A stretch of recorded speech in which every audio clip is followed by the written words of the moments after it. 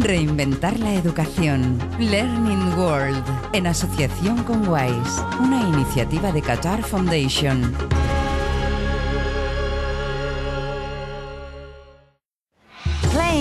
Jugar es algo esencial durante la infancia, pero ¿cómo adaptar el juego a una perspectiva académica? Muchos investigadores consideran que los primeros años de la infancia el juego ayuda a desarrollar habilidades cognitivas y es una base sólida para el aprendizaje.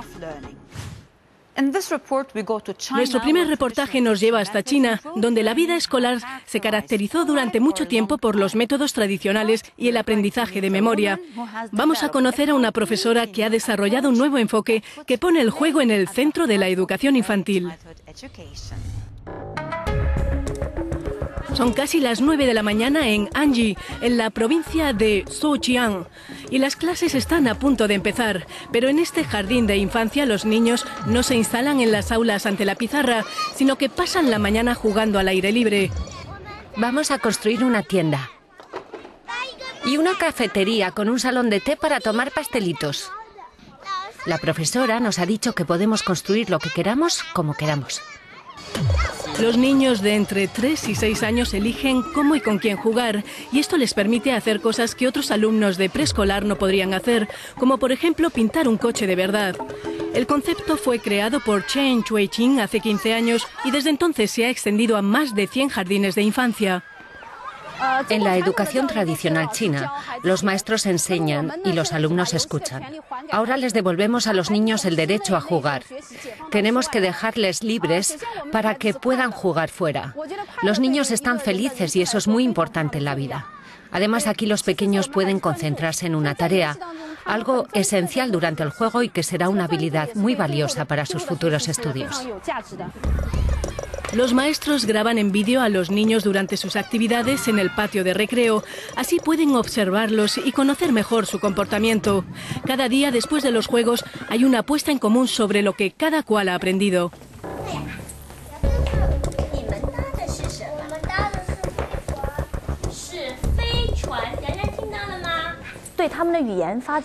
Hablar sobre lo que hacen es bueno para el desarrollo del lenguaje. Al describir y compartir sus experiencias se atreven a hablar y toman la palabra.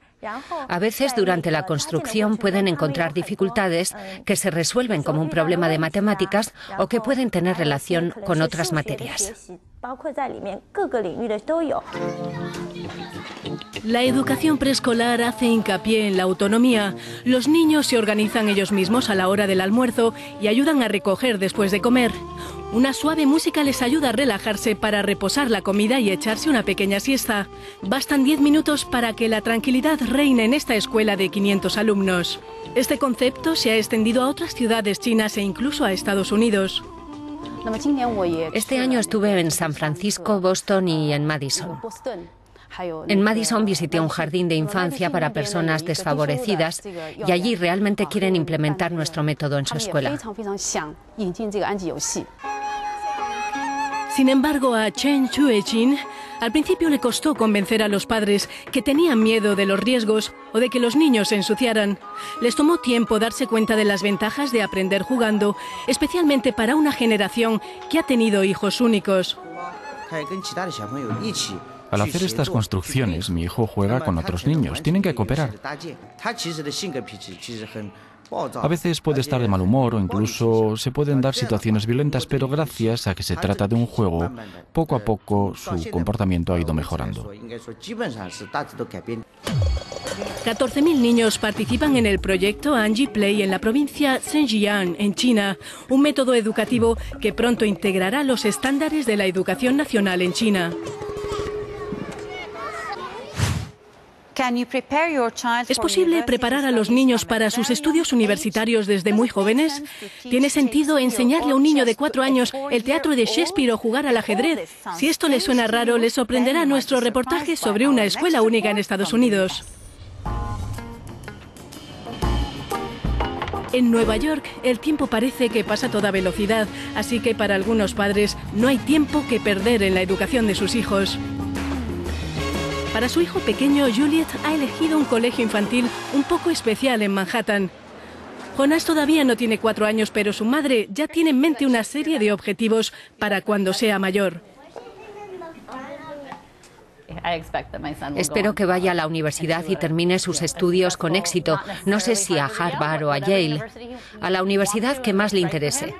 Espero que pueda realizar buenos estudios universitarios y que pueda basarse en lo que haya aprendido en esta escuela. Si Juliet Weissman tiene tanta confianza en el futuro es porque la Goddard School promete a sus alumnos éxito garantizado en el acceso a las mejores universidades del país.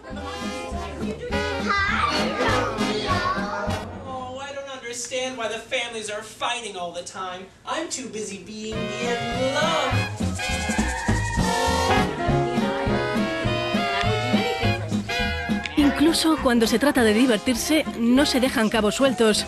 El espectáculo de marionetas se inspira en la obra de Romeo y Julieta de Shakespeare, un texto que generalmente se estudia en todos los institutos. Sabe usted, es algo archiconocido que cuando los estudiantes llegan al instituto o a la universidad y tienen que estudiar la obra de Shakespeare suelen decir, o oh, no, no quiero tener que estudiar esto, no me gusta Shakespeare, y a pesar de que nunca han leído o visto estas obras de teatro le tienen manía. Por eso, al relacionar Shakespeare con algo positivo, lo antes posible, más tarde dirán, lo conozco, me acuerdo, era muy divertido. Y nosotros les contamos la historia original, no es una adaptación, sino que incluye fragmentos del texto original.